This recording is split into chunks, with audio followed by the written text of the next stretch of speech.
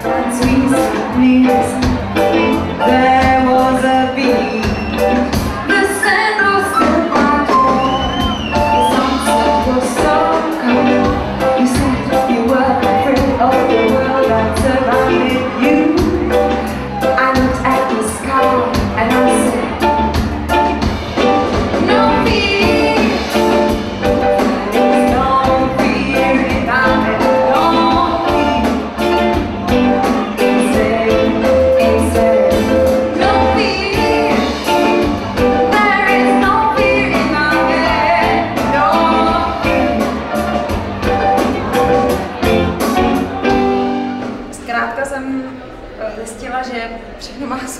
někdy a nějak delší dobu jsem přemýšlela nad tím, že, že prostě asi to už hudebně cítím jinak než Basta Fidel, než- zbytek Fidel.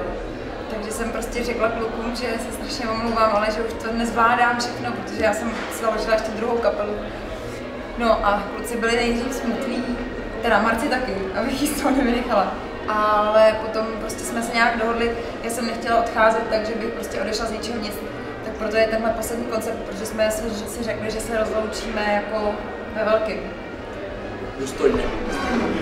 Everybody will be happy. Everybody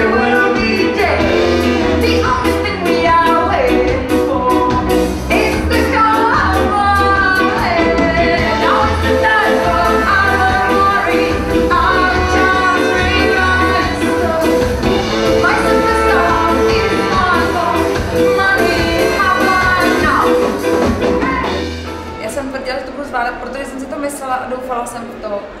Ale stárnu a síly ubývají.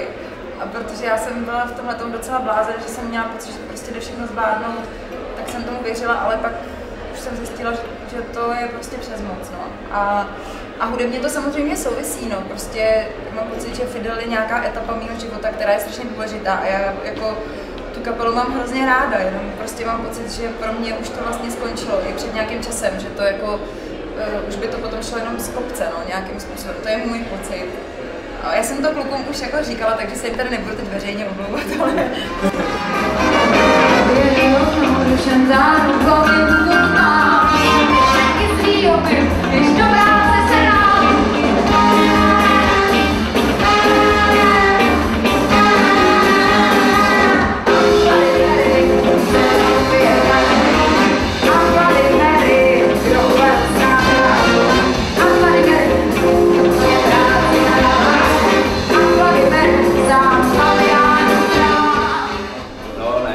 stranu samozřejmě eh, cítíme, že to je škoda, že jo. Prostě Marké s náma hrál dlouhou dobu a my si strašně vážíme, je to skvělý frontman. Eh, ale těžko jí to můžeme vyčítat, jako, já myslím, že to řekla naprosto jasně, prostě jedna etapa pro ní skončila třeba možná i ta nejlepší hudební. A my to vyčítat nebudeme a určitě jí popřejeme hodně štěstí a my se teďka budeme muset snažit prostě bez ní, no. Snad se nám to podaří. Day, try to pray to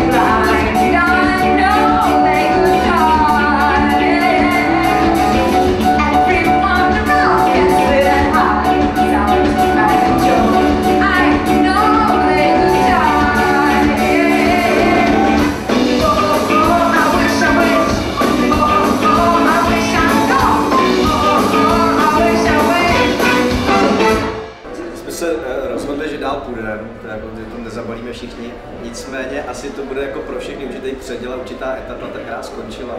Takže v podstatě hledáme novýho frontmana, možná se změní ta sestava ještě i jinak, to nevíme. Je to jakoby v řešení. Každopádně ta nová kapela, která z toho vznikne, se jako na tu starou ne úplně naváže. Jo. Budeme se snažit mít co nejrychleji nový repertoár, nebudeme se snažit jakoby přejímat ty staré věci a jenom je znova aranžovat s novým frontmanem. Na- Naopak se budeme snažit jako změnit možná lehce sound a taky se někam posunout, někam to vyvinout, no, protože prostě faktem je, že jako jsme delší dobu byli i zaseklí jako v určitém, v určitém místě, takže možná to snad bude impuls k tomu, že se to zase někam rozjede.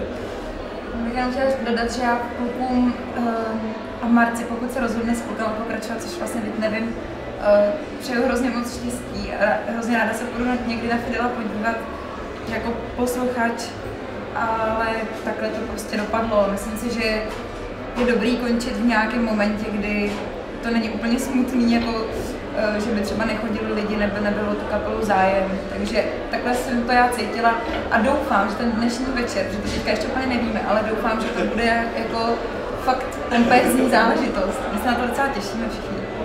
Hodně. Oh!